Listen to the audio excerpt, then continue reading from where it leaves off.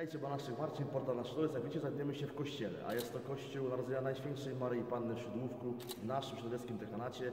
A moim dzisiejszym gościem w cyklu wywiadów twarzą w twarz jest ksiądz Adrian Jakubiak, wikariusz tejże parafii. Szczęść Boże, księże Adrianie. Już za chwilkę e, z księdzem Adrianem porozmawiamy o jego posłudze kapłańskiej, o tym jak działa tutaj w Szydłówku i w całym dekanacie z młodzieżą, bo to jest jakby jedno z głównych zajęć ksi- księdza. No i cóż, zapraszam i mam nadzieję, że będzie się Wam wszystkim ten wywiad, drugi odcinek bardzo podobał.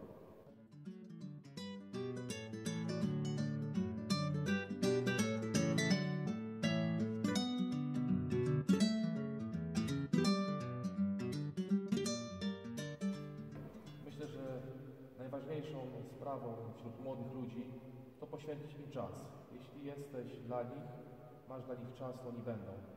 Yy, przykład ma iść od góry. Ja nie mam być przykładem, przykładem ma być Jezus.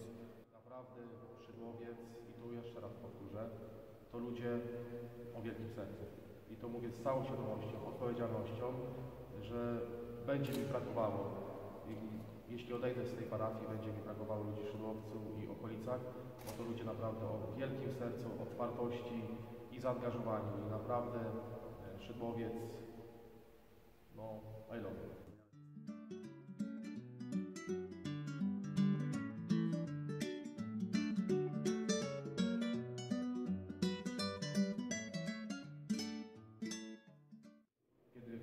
Otworzysz Księgę Pisma Świętego, y, to ona jakby no daje Ci energię, kopa na, na co dzień, daje Ci energię i taką radość na co dzień, bo Jezus mówi o miłości. A dzisiaj ludziom y, brakuje tej miłości.